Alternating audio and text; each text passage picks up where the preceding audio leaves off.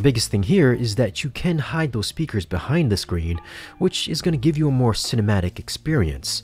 With a couple tweaks on the projector, colors were nice and vibrant, and 4K material looked fantastic and the speakers disappeared into the screen. If you're looking to bring the movie theater feel at home and hide those speakers without breaking the bank, the Pro 1080p is going to be a tough screen to beat.